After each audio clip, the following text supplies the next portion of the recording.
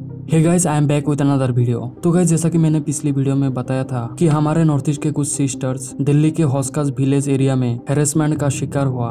कुछ लोगों ने उन लड़कियों के साथ बहुत ही बदतमीजी किया, जिसके बाद उन लड़कियों ने अपने मोबाइल पर वीडियो रिकॉर्ड किया। एंड अभी रिसेंटली ये वीडियो सोशल मीडिया पर वायरल हो रहा है, जहाँ पर साफ़ साफ़ दिखाई दे रहा है कि किस तरह से वो लोग रेशियल डिस्क्रिमिनेशन का शिकार हुआ था। गाइस आप लोग जानते हैं कि हमारे नॉर्थ ईस्ट से रिलेटेड न्यूज़ नेशनल मीडिया पर कम ही दिखाते हैं। लेकिन इस घटना को जो है नेशनल लेवल का एक न्यूज़ चैनल में दिखाया गया। एंड इसके साथ साथ कुछ और न्यूज़ चैनल में इस घटना को दिखाया गया, जिसे देखने के बाद मुझे बहुत ही अच्छा लगा। में जो गर्ल्स है, उनका एलिगेशन है की अचानक से जो लड़के आते हैं, वो ई टीजिंग करते हैं, उसके बाद रेट क्या है, ये पूछते हैं। कहीं ना कहीं जो उनके कपड़े, उनके कपड़ों को लेकर उनको टारगेट किया जाता है।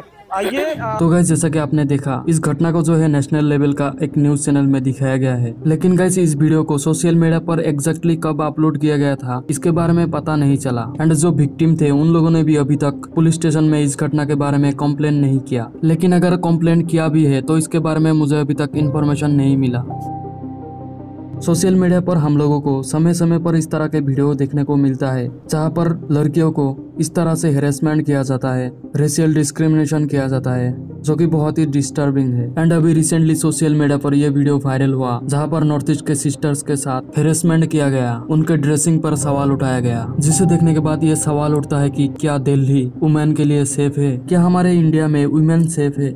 एंड गए जो हमारे नॉर्थ ईस्ट के लोग इंडिया के अलग अलग स्टेट में स्टडी या फिर जॉब के पर्पज से जाते हैं, क्या वो लोग सेफ़ है? इसके बारे में आप क्या सोचते हैं? कमेंट करके ज़रूर बताना।